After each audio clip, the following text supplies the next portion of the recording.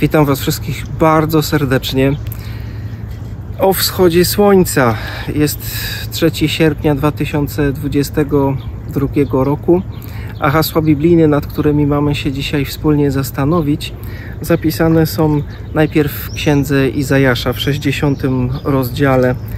Powstań, zajaśnij, gdyż zjawiła się Twoja światłość, a chwała Pańska rozbłysła nad Tobą.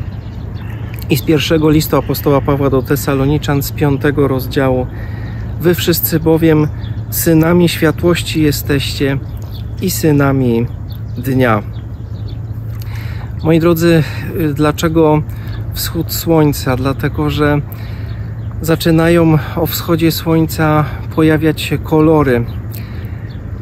Ciemność ustępuje światłości budzimy się do życia, zaczynamy funkcjonować, widać kolory, widać y, niesamowity świat, widać Boże stworzenie.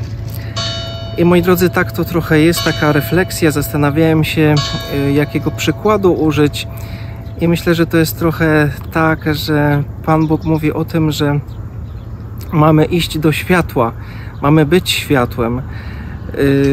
No i właśnie bliżej Boga, czym bliżej Boga będziemy, tym więcej będzie tego światła. A jeśli będzie więcej światła, to będzie wyraźniej widać, będzie wyraźniej widać nasze życiowe cele, y, kolory naszego życia, y, będzie łatwiej iść przez to życie. No ale kiedy będziemy robić w tył wzrot, kiedy będziemy odwracać się od światła, będzie nastawała ciemność. Wtedy jest o wiele, wiele trudniej i wtedy też bardzo łatwo o to, by się przewrócić, by upaść, by zboczyć z drogi, by stracić cel. Dlatego dzisiaj dla każdego z nas życzenie, byśmy powstali, zajaśnieli, gdyż zjawiła się Twoja i moja światłość. Chwała Pańska rozbłysła nad nami w Jezusie Chrystusie.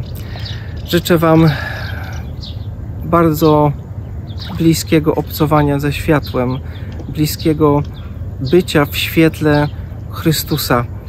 Niech Pan Bóg Was dzisiaj błogosławi, miejcie dobry dzień i idźcie do Bożego światła.